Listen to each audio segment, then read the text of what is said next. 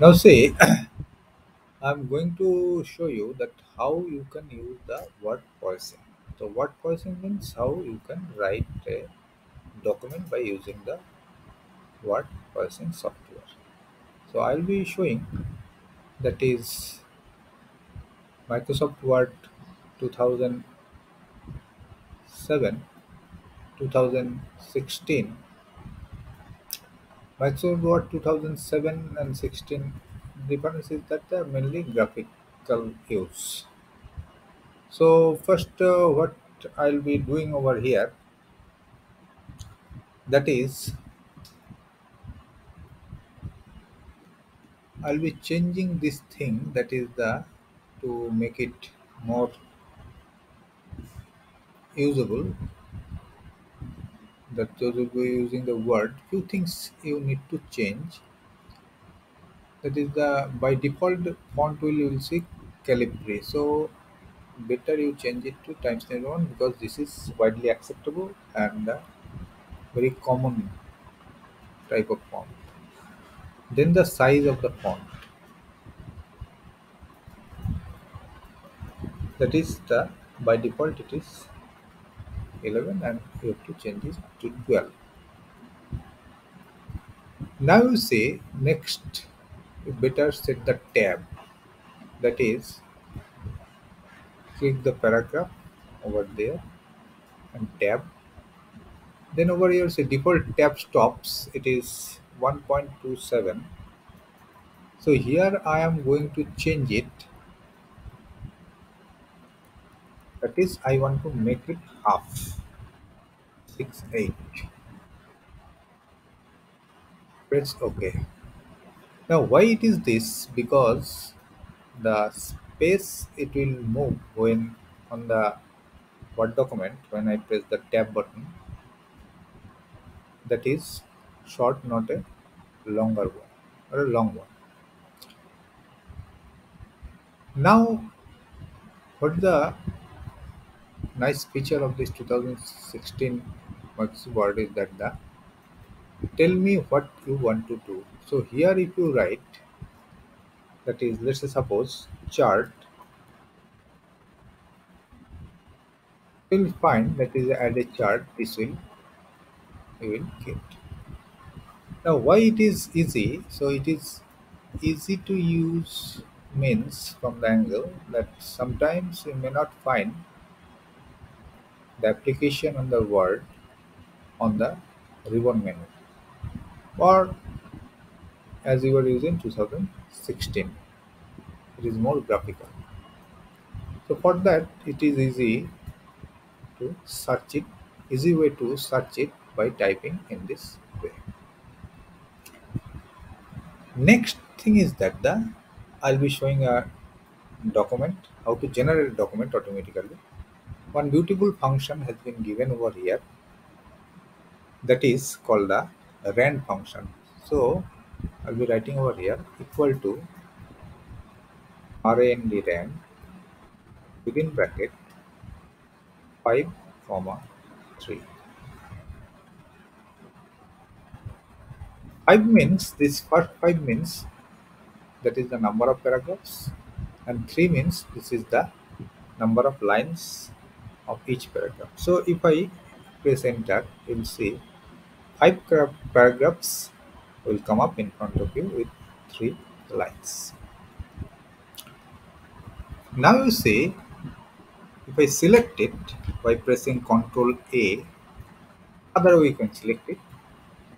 You'll see these lines are not aligned. On the right hand side you see it is not aligned.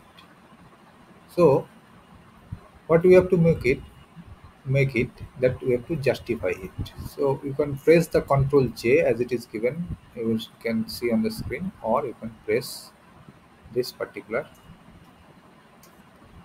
icon. So you see this has been rightly aligned. Now i want to change that.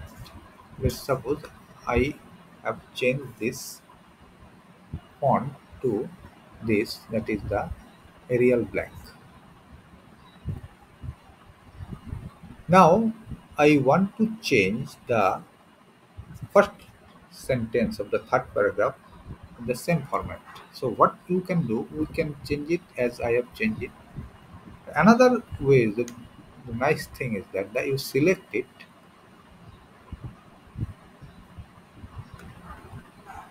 then you select the format painter. So you click on it. Then you just put it on the this sentence. You'll see it will automatically change. Next thing you can do over here that is if you want to insert a line what you will do just you press hyphen three times then press enter. If you want to insert two lines then press equal sign then enter. Right. Now if you select want to select this fourth paragraph just put cursor on the paragraph and press three times. That click on this three times. One two three. You see total paragraph will be selected. This is the easiest way to select the paragraph. Now you want to insert serial number in the table. Let's suppose I have created a table which has three columns and six rows. Now I have written over here serial number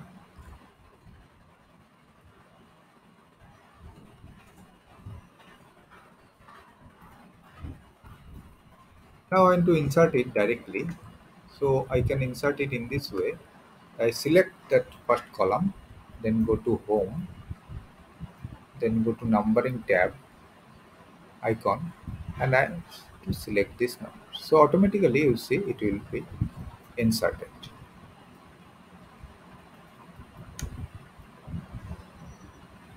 Now say I want to replace this video with the capital one. So one by one you can do and it will be changed over here. Another way is that the I can replace I can use this particular replace icon and I can replace it. So we just write over here video the way it has been written. And I have to change it with the capital one V I D E O. Replace all. So there are four replacement. Okay. So you see where the video was there. This video has changed. All are in capital. So in this way you can use this particular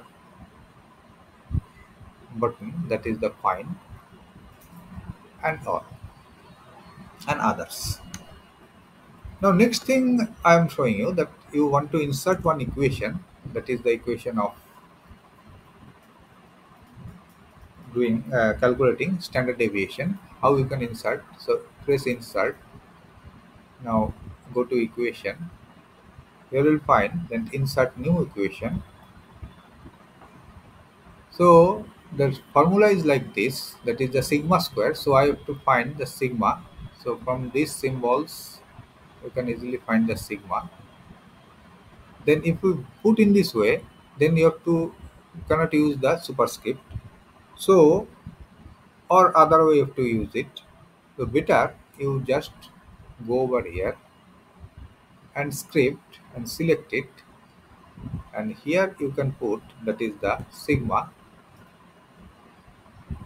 Then this is square which is equal to on numerator we have one function. So numerator by denominator. So for this you have to select the function then you see this will be actually you have to change you have to change it. That is the superscript one because the whole square is there. Then we have to use the large operator that is the summation. So this is the summation i'll be using. So summation is it is i equal to 1 to n and here i'll be writing that is within first bracket x r suffix i. So x this is the suffix. Again i have to select. So x then suffix i then I have to use the minus sign then I have x bar. So this is x bar.